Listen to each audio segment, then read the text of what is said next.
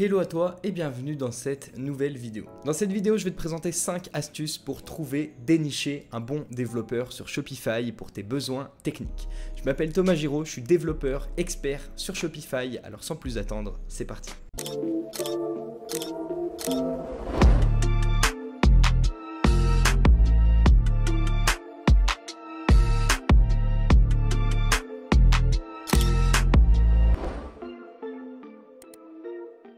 Alors oui, je suis moi-même développeur sur Shopify et expert, mais j'ai moi-même eu besoin de déléguer certaines tâches, par manque de temps ou de skills au début quand je commençais à me former pour essayer de comprendre aussi comment les bons développeurs travaillent sur Shopify. Ça m'a permis de me former encore plus rapidement et de capter un petit peu les bonnes techniques. Mais pour ça, il fallait que je m'adresse aux bons développeurs.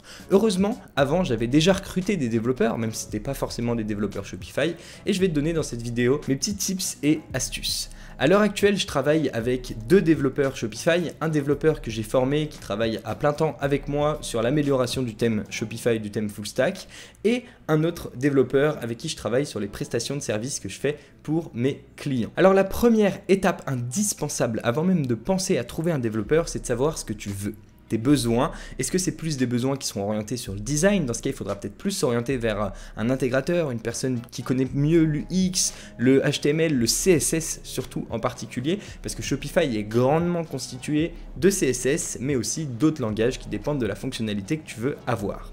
Alors il est important d'avoir des maquettes savoir ce que tu veux et pour pouvoir le définir et pour les soumettre aux développeurs à qui tu veux t'adresser. Et il est également important d'avoir des sources d'inspiration si tu n'as pas forcément de maquette à l'heure actuelle. Tu peux travailler au préalable avec un designer qui va créer tes maquettes ou créer les maquettes avec toi. Peut-être que tu es toi-même designer et que tu vas créer tes propres maquettes en utilisant Figma par exemple, qui est un logiciel qui est très utilisé. Ou alors simplement dire je veux telle fonctionnalité, je veux telle section à l'intérieur de mon thème Shopify en pointant du doigt un site existant qui dispose d'une section qui t'intéresse. Alors c'est la première étape, elle est vraiment fondamentale, savoir ce que tu veux avant même de t'adresser à quelqu'un. Ensuite, pour trouver la bonne personne et avant de savoir où est-ce que tu peux la trouver et, comment tu peux la trouver, il faut savoir qu'il y a différents types de développeurs, je te l'ai déjà dit. Il y a des développeurs euh, sur Shopify qui seront peut-être plus orientés sur la partie design, d'autres plus sur la partie fonctionnalité pour ajouter un produit au panier via un upsell par exemple, créer un, un order bump, créer un bundle de produits et j'en passe. Il y a aussi les développeurs d'applications sur Shopify qui sont encore une fois d'autres types de développeurs. Un développeur d'applications sur Shopify, c'est un vrai développeur web, front-end, back-end, qui va créer son propre serveur, son propre site web de son côté, sa propre infrastructure en dehors de Shopify, qui va être exécuté à l'intérieur de Shopify. J'utilise des langages un petit peu techniques, mais techniquement, un développeur d'application Shopify, et j'en connais, ne touche pas ou que très peu au thème Shopify. Alors que derrière, tu as des experts qui sont spécialisés sur la réalisation de thèmes, l'amélioration ou l'intégration de petites fonctionnalités sur des thèmes. Donc c'est vraiment à différencier, tu vas pas t'orienter vers un développeur d'application Shopify pour modifier un thème et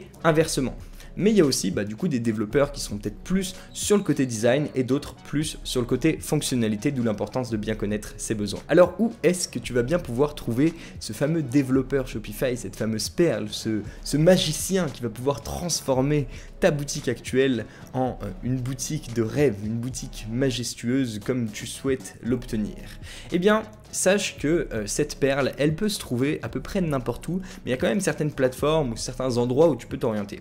Sache que euh, tu as déjà Upwork et Fiverr sur lesquels il y a plein, plein, plein de développeurs Shopify qui seront bien souvent pas français, donc c'est très difficile de trouver un développeur Shopify francophone, il en existe que très peu, j'en connais un peut-être deux, il me semble. Donc après, tu peux te diriger aussi vers euh, les plateformes de freelance françaises comme Malte, Comet, crème de la crème, où là-dessus tu trouveras sûrement des développeurs Shopify avec déjà des avis clients, etc., que tu payeras à la journée, mais ça on en parlera dans l'étape d'après qui concerne le pricing. Un autre moyen de trouver des développeurs sur, euh, sur Shopify, c'est d'aller sur LinkedIn simplement, de taper dans la barre de recherche euh, développeur Shopify, et tu en trouveras sûrement quelques-uns, c'est même sûr et certain. Alors un autre moyen auquel j'ai peut-être plus accès que toi, mais que sais-je, c'est euh, de t'orienter vers les membres de ma formation Convertify. Ma formation Convertify, c'est la première formation et la seule francophone sur le code de Shopify qui forme des débutants vers des héros sur Shopify, des grands magiciens comme tu recherches. Évidemment, ça demande énormément de pratique, mais euh, de mon côté, j'arrive à assurer un, suivi vers les membres les plus déterminés et ceux qui ont le plus de résultats. Et euh, c'est d'ailleurs avec une personne, voire même deux personnes à l'intérieur de cette formation Convertify que je travaille aujourd'hui parce qu'ils ont pris des compétences qui sont quand même incroyables et j'ai envie de travailler avec ces personnes parce qu'elles sont d'autant plus motivées, déterminées et elles connaissent les besoins en e-commerce.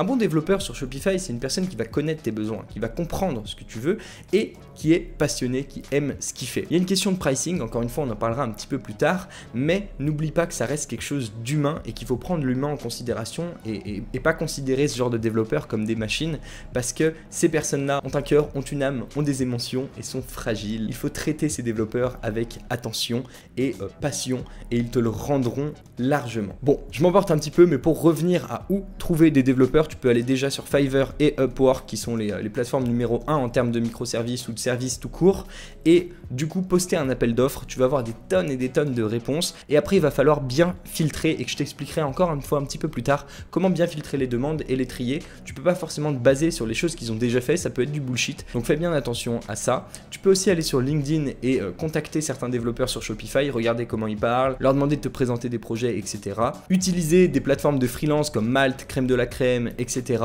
Ou rejoindre notre channel Slack juste en dessous qui est composé de plus de 200 membres de la formation Convertify. Alors maintenant, j'aimerais traiter la question de combien faut-il compter pour trouver un développeur sur Shopify.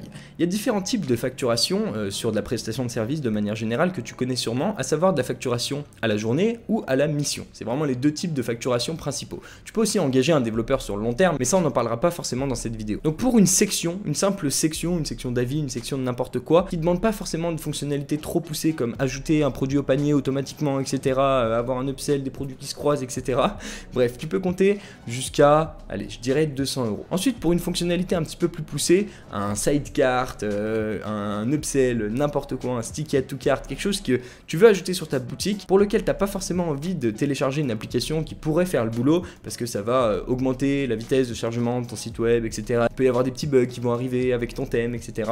Eh bien, tu peux compter jusqu'à, je dirais, 500 euros. Tu auras quelque chose de correct. Et après, euh, si c'est une mission complètement sur mesure, sur laquelle il faut refaire l'intégralité de ton shop, ou même partir de zéro, eh bien ça, ça dépendra des freelances, des agences auxquelles tu vas t'adresser et soumettre ta demande. Mais si tu as des besoins de la sorte, tu peux toujours demander un devis à mon agence. Tu trouveras le lien dans la description de cette vidéo. Un dernier point que j'aimerais aborder avec toi, c'est comment évaluer le niveau de cette personne, de ce magicien qui va, qui va rejoindre ton équipe potentiellement euh, et ne pas se tromper pour être sûr que ce soit la bonne personne. C'est vrai que si tu vas sur Fiverr, Upwork, tu vas poster un simple appel d'offres et tu vas avoir des dizaines et des dizaines de demandes. Comment faire le tri, comment trouver la bonne personne euh, en alliant évidemment euh, qualité et prix et pour trouver le juste milieu vers une personne qui propose des services de qualité à un prix qui soit moindre. C'est sûr que si tu vas vers le prix le plus bas, ne t'attends pas à avoir le meilleur résultat et, euh, et si tu vas vers le prix le plus haut, techniquement tes attentes seront peut-être hautes, mais ce ne sera pas forcément le meilleur développeur. Pour ça, je vais vraiment prendre deux cas concrets. Un cas où tu as du budget et un cas où tu n'en as pas du tout. Si tu n'as pas du tout de budget, fais-lui faire un test technique, une petite section, une petite fonctionnalité, un petit truc pour voir comment c'est et évaluer la propreté de son code. Tu auras juste à checker, même si tu connais pas le code, tu vois si un code est propre ou pas. Tu lui demanderas évidemment lors de ce petit test de commenter son code et de te l'expliquer. Même si tu comprends rien, il faut que tu sois capable de le comprendre et lui qui soit capable de te l'expliquer. C'est un super bon signe sur le fait que ce soit un bon développeur ou non. C'est quelque chose qui se paye ou ça peut être gratuit, c'est à toi de négocier ça avec ce développeur.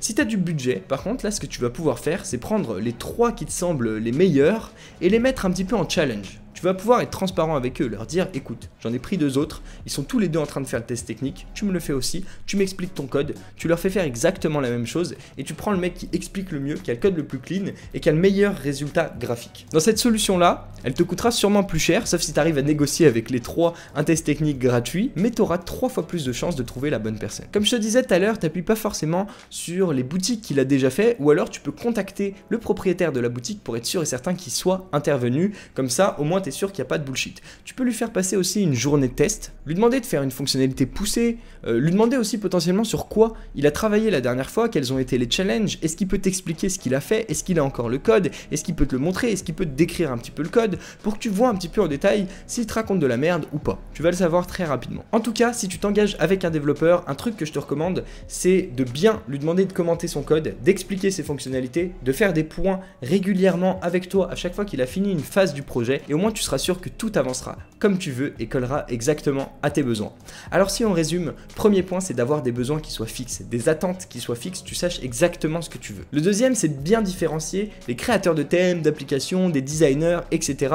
pour savoir vers qui t'orienter. Ensuite je t'ai présenté quelques endroits où trouver des développeurs, à savoir euh, sur Fiverr, Upwork, euh, dans la description de cette vidéo si tu as un devis à nous proposer, donc une mission complète sur une refonte euh, ou une création de, de site e-commerce poussé, sur certaines plateformes de freelance, sur LinkedIn ou à l'intérieur de notre Slack avec les membres de la formation Convertify. Sache qu'il y a différents types de tarifs à la journée, à la mission, etc. et que ça dépendra vraiment de tes besoins. Et enfin, tu as eu toutes les astuces pour évaluer le niveau du développeur avec lequel tu travailleras. C'est déjà la fin de cette vidéo, j'espère qu'elle t'a plu, qu'elle t'a permis d'y voir plus clair et qu'elle t'aidera dans ta recherche d'un bon développeur sur Shopify. Si c'est le cas, mets-moi un petit pouce bleu juste en dessous. Dis-moi dans les commentaires si tu as la moindre question, remarque à propos de cette vidéo. Et si tu as des besoins définis et que tu souhaites obtenir un devis de la part de notre agence, tu peux cliquer sur le lien juste en dessous de cette vidéo pour nous exprimer tes besoins et recevoir ton devis. C'était Thomas, c'est toujours un plaisir. On se retrouve dans une prochaine vidéo et à très vite.